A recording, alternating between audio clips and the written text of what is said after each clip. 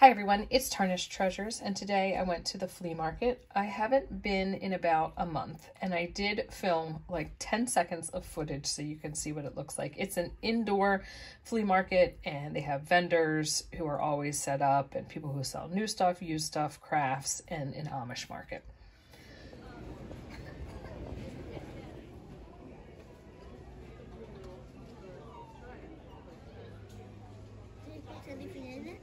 No, I want to look at the beads over here. Okay.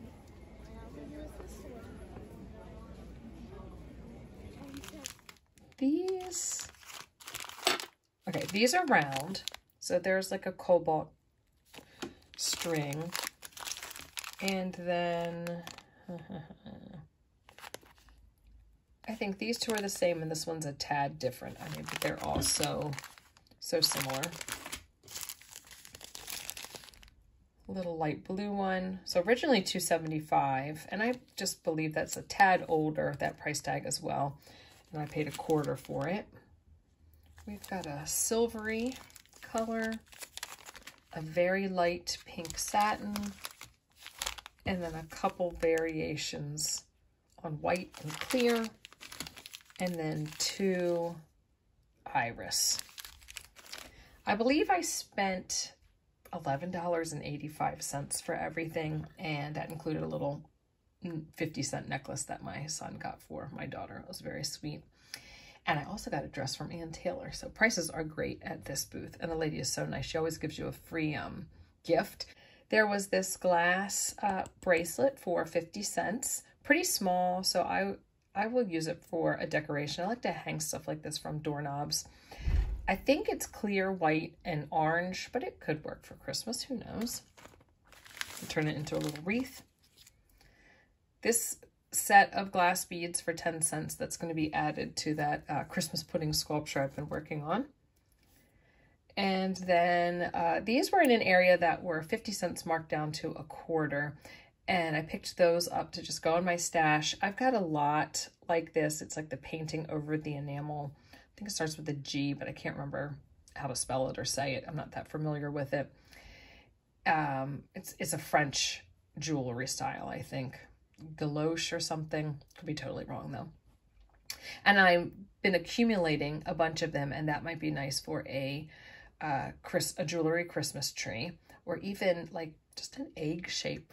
Maybe a jewelry Easter egg. Do those exist? And then this little heart has a little red gem. So that could be nice for a Christmas tree as well. So all of that and an Ann Taylor dress. Let me hang it up so you can see. This is the dress and it's from Ann Taylor. So she had $10 on it and it was reduced to five. Where is the tag? Oh goodness. And I love Ann Taylor. It's not missing the tie.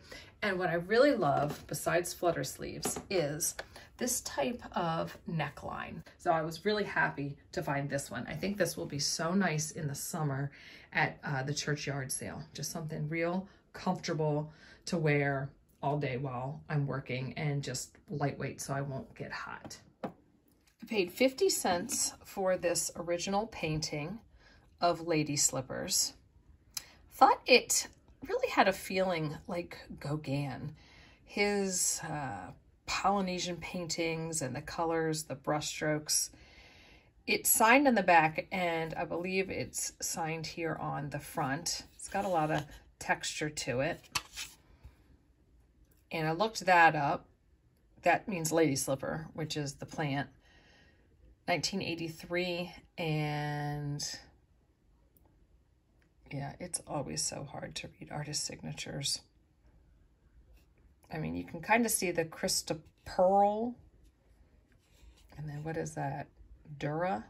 I don't know. I just thought it was really pretty. And 50 cents. Who could beat that? One lady was selling a lot of nice nail polishes for a dollar a piece. I think Essie now is up to $10 at Target.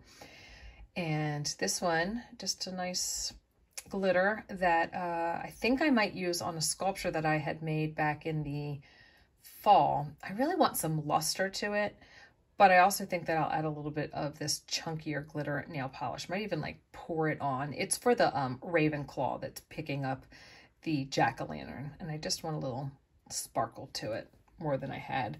And I had put some nail polish on it, but it was more of, um, I don't think it was the big glitter. So we'll see. It's a dollar. And if not, I'm sure my daughter will have no problem taking it from me. So big and little flecks with like a purpley blue. So definitely the color I was going for. What is that called? If anyone's interested, I don't know. 953. Oh, here we go. Stroke of Brilliance. I spent $13 at the first stand that I went to. And a lot of you know that I am making my Christmas journal, so I wouldn't mind finding some nice Christmas ephemera to add to it. And I found these. These are really old and unique. I paid $3 for this as well. They all say 1863.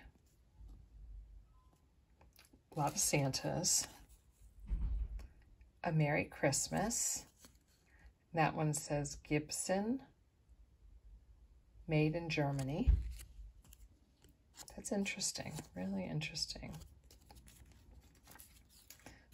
This one has gold bells. It says Season's Greetings, and there are two little cherubs. Dennison Manufacturing Company. So it's neat that it's printed on the back of the seal. Another Father Christmas, 1863. Nobody wrote on the back of that. I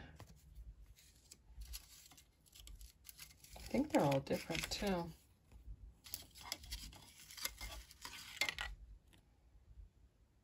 This was great find, especially since I'm doing something Christmassy. I love this one with the poppies. Merry Christmas candle a little bit of uh, gold. See how it's perforated too.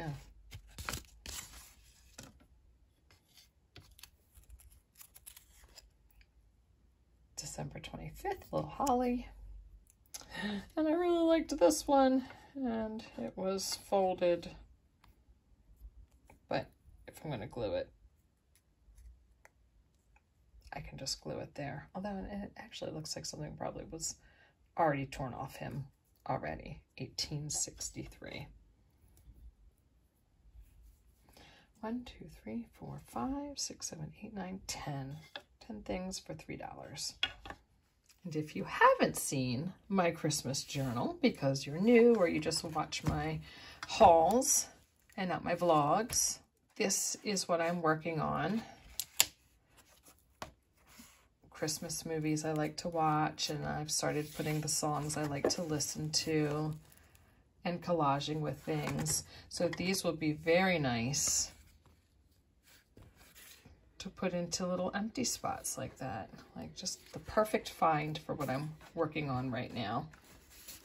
Some stuff is mid-century looking, but others, uh, other pages I think have that, you know, brocante antique look and I am putting some older ephemera and things that I have in there because I want this to be a journal that is kept forever. So I do want to put some of my favorite things in there. She had a box that was under her table that had old black and white photos, uh, some religious ephemera, and then this purse was in there. Of course, the purse caught my eye. I was really drawn to these colors, maybe not so much the brown, but I could see in here, um, it says made in France. She said it was a Bakelite handle. Um, I, yeah, I don't know. But the one thing that's broken is this part on that side, which feel like you could, no, I wouldn't want to clamp it in there, but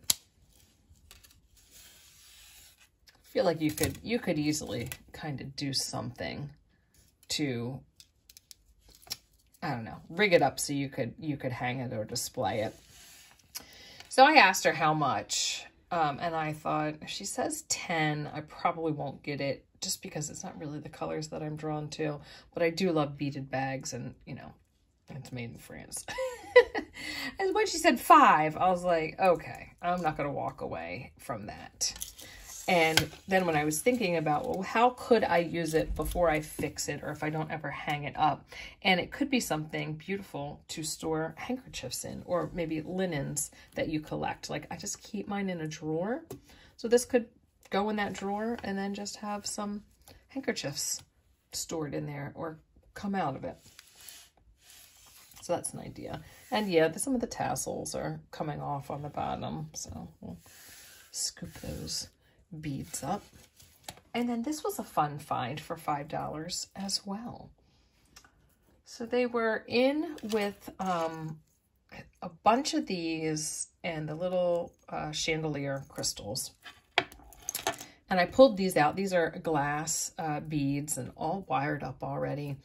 I wonder what they were originally. I mean, did they go over the light bulb, which would be really cool. Um, and if they are, I mean, are they old? Because I've never seen that before. Are they hand, like handmade at home? I mean, you can buy things handmade in a factory, but is this like someone sitting in their house making it? So when I saw them, I only saw four, and it's funny because this, this lady and I, we talk all the time. She knows that I'm an art teacher, and I said, this is what I would do with it. and she said, $5.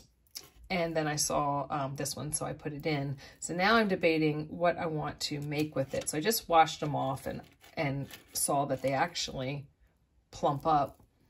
I still might make some type of insect with it. Um, it's difficult though. How is that going to attach to that? Like I think I'd have to wire it and then have some glue.